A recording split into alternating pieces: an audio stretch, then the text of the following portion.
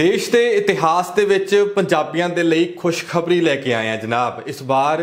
2024 ਦੇ ਵਿੱਚ 올림픽 ਦੀ ਗੱਲ ਕੀਤੀ ਜਾਵੇ ਜਾਂ ਫਿਰ ਕ੍ਰਿਕਟ ਦੀ ਗੱਲ ਕੀਤੀ ਜਾਵੇ ਕ੍ਰਿਕਟ ਦੇ ਵਿੱਚ ਹਾਕੀ ਦੇ ਵਿੱਚ ਫੁੱਟਬਾਲ ਦੇ ਵਿੱਚ ਜਿਹੜੇ ਕਪਤਾਨ ਹੈ ਉਹ ਪੰਜਾਬ ਦੇ ਹੈ ਸਭ ਤੋਂ ਪਹਿਲਾਂ ਜੇਕਰ ਕ੍ਰਿਕਟ ਦੀ ਗੱਲ ਕੀਤੀ ਜਾਵੇ ਤਾਂ ਸ਼ੁਭਮਨ ਗਿੱਲ, ਜੇਕਰ ਹਾਕੀ ਦੀ ਗੱਲ ਕੀਤੀ ਜਾਵੇ ਤਾਂ ਹਰਮਨਦੀਪ ਤੇ ਜੇਕਰ ਫੁੱਟਬਾਲ ਦੀ ਗੱਲ ਕੀਤੀ ਜਾਵੇ ਤਾਂ ਗੁਰਪ੍ਰੀਤ, ਇਹਨਾਂ ਦੇ ਵੱਲੋਂ ਕਪਤਾਨੀ ਕੀਤੀ ਜਾਵੇਗੀ। ਸਭ ਦੇ ਵਿੱਚ ਜੇਕਰ ਗੱਲ ਕੀਤੀ ਜਾਵੇ T20 ਵਿਸ਼ਵ ਕੱਪ ਦੇ ਵਿੱਚ ਰੋਹਿਤ ਸ਼ਰਮਾ ਦੀ ਅਗਵਾਈ ਦੇ ਵਿੱਚ ਬਹੁਤ ਸ਼ਾਨਦਾਰ ਪ੍ਰਦਰਸ਼ਨ ਰਿਹਾ। ਇਸ ਸਭ ਦੇ ਵਿੱਚ ਜੇਕਰ ਗੱਲ ਕੀਤੀ ਜਾਵੇ ਤਾਂ ਭਾਰਤੀ ਟੀਮ ਨੇ ਵਿਸ਼ਵ ਕੱਪ ਤੋਂ ਬਾਅਦ ਜ਼ਿੰਬਾਬਵੇ ਦੌਰੇ ਤੇ ਜਾਣਾ, ਜਿੱਥੇ ਜ਼ਿੰਬਾਬਵੇ ਦੇ ਖਿਲਾਫ 5 ਮੈਚਾਂ ਦੀ T20 ਸੀਰੀਜ਼ ਖੇਡੀ ਜਾਣੀ ਹੈ। ਇਸ ਸੀਰੀਜ਼ ਦੇ ਵਿੱਚ ਸਭ ਤੋਂ ਅਹਿਮ ਗੱਲ ਕੀ ਹੈ ਕਿ ਪੰਜਾਬ ਦਾ ਕਪਤਾਨ ਹੋਵੇਗਾ। ਇਸ ਦੌਰੇ ਲਈ BCCI ਦੀ ਚੋਣ ਕਮੇਟੀ ਨੇ ਭਾਰਤੀ ਟੀਮ ਦਾ ਐਲਾਨ ਕਰ ਦਿੱਤਾ ਹੈ। ਇਸ ਦੌਰੇ ਤੋਂ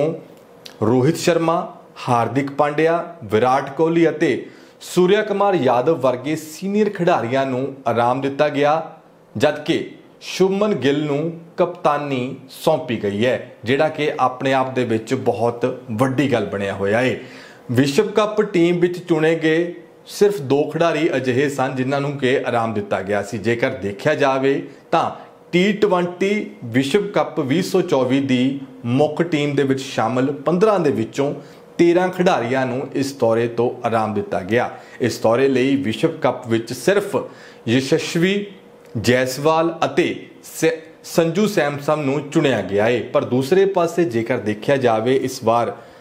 ਜ਼ਿੰਬਾਬਵੇ T20 ਦੇ 5 ਮੈਚਾਂ ਦੀ ਸੀਰੀਜ਼ ਦੇ ਵਿੱਚ ਕਿਸ ਤਰ੍ਹਾਂ ਦਾ ਪ੍ਰਦਰਸ਼ਨ ਕਪਤਾਨ ਦਾ ਰਹੇਗਾ, ਸਭ ਦੀਆਂ ਨਜ਼ਰਾਂ ਹੋਣਗੀਆਂ। ਤੇ ਦੂਸਰੇ ਪਾਸੇ ਜੇਕਰ ਫੁੱਟਬਾਲ ਦੀ ਗੱਲ ਕੀਤੀ ਜਾਵੇ ਤਾਂ ਮੋਹਾਲੀ ਦੇ ਫੇਜ਼ 11 ਦੇ ਵਸਨੀਕ ਗੁਰਪ੍ਰੀਤ ਸਿੰਘ ਸੰਧੂ ਨੇ ਭਾਰਤੀ ਫੁੱਟਬਾਲ ਟੀਮ ਦਾ ਕਪਤਾਨ ਬਣ ਕੇ ਮੋਹਾਲੀ ਅਤੇ ਪੰਜਾਬ ਦਾ ਮਾਣ ਵਧਾਇਆ। ਉਸ ਦਾ ਪਰਿਵਾਰ ਖੁਸ਼ੀ ਮਨਾਉਂਦਾ ਪਿਆ ਏ। ਗੁਰਪ੍ਰੀਤ ਸਿੰਘ ਤੇ ਪਿਤਾ ਪੰਜਾਬ ਪੁਲਿਸ ਦੇ ਸੇਵਾ ਮੁਕਤ ਐਸਪੀ ਤਜਿੰਦਰ ਸਿੰਘ ਸੰਧੂ, ਚੰਡੀਗੜ੍ਹ ਪੁਲਿਸ ਦੇ ਡੀਐਸਪੀ ਹਰਜੀਤ ਕੌਰ ਦਾ ਪੁੱਤਰ ਹੈ। ਪਿਛਲੇ ਲੰਮੇ ਸਮੇਂ ਤੋਂ ਫੁੱਟਬਾਲ ਟੀਮ ਦਾ ਹਿੱਸਾ ਰਿਹਾ ਏ। ਉਸਨੇ 2019 ਦੇ ਵਿੱਚ ਅਰਜੁਨ ਅਵਾਰਡ ਵੀ ਮਿਲ ਚੁੱਕਿਆ ਹੈ ਇਸ ਮੌਕੇ ਗੁਰਪ੍ਰੀਤ ਸਿੰਘ ਦੇ ਪਿਤਾ ਤਜਿੰਦਰ ਸਿੰਘ ਨਾਲ ਜਦੋਂ ਮੀਡੀਆ ਦੇ ਗੱਲਬਾਤ ਕੀਤੀ ਤਾਂ ਉਹਨਾਂ ਦੱਸਿਆ ਕਿ ਗੁਰਪ੍ਰੀਤ ਸਿੰਘ ਨੂੰ ਬਚਪਨ ਤੋਂ ਹੀ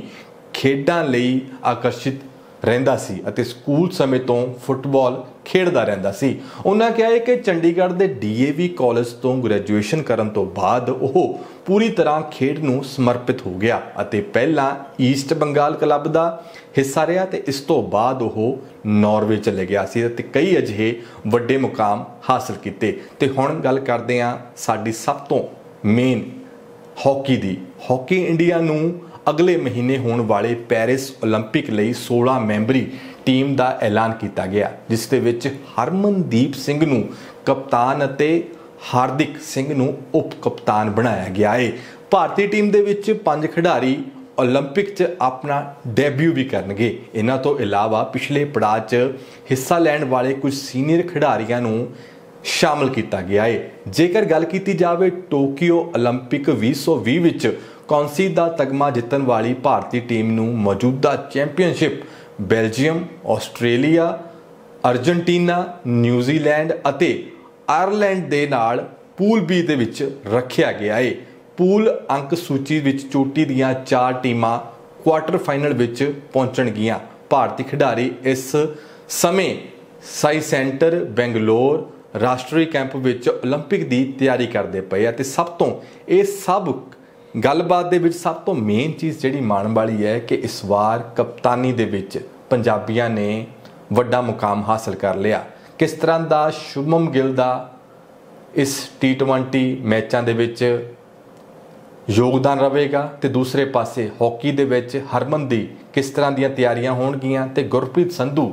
ਕਿਸ ਤਰ੍ਹਾਂ ਪੰਜਾਬ ਦਾ ਮਾਣ ਵਧਾਊਗਾ, ਇਹ ਆਪਣੇ ਆਪ ਦੇ ਵਿੱਚ ਦੇਖਣਾ ਹੋਵੇਗਾ, ਪਰ ਦੇਸ਼ ਤੇ ਇਤਿਹਾਸ ਦੇ ਵਿੱਚ ਪੰਜਾਬ ਦੇ ਤਿੰਨੋਂ ਟੀਮਾਂ ਦੇ ਵਿੱਚ, ਤਿੰਨੋਂ ਗੇਮਾਂ ਦੇ ਵਿੱਚ ਕਪਤਾਨ ਹੋਣਾ ਪੰਜਾਬੀਆਂ ਦੇ ਲਈ ਬੜੀ ਮਾਣ ਵਾਲੀ ਗੱਲ ਹੈ।